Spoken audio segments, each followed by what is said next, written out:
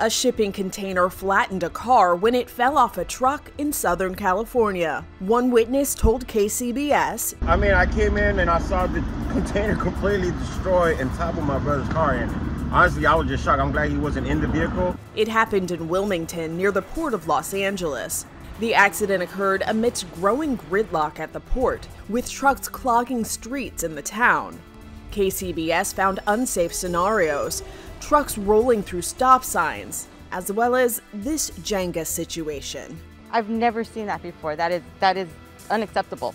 One container was balanced across others in a way that didn't exactly instill confidence.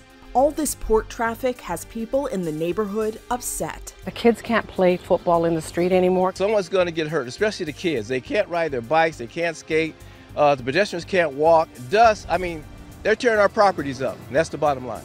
The trucks should not be going through the residential street, and we need to put a stop to that by getting a, a truck route.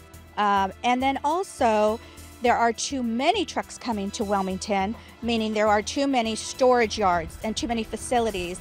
Uh, so we need to make sure that that's regulated. The accident has also prompted a response from the LAPD, who are paying closer attention to traffic in the areas near the port. Meanwhile, cargo ships bide their time at sea, waiting to get into the snarled port. This is Inside Edition Digital.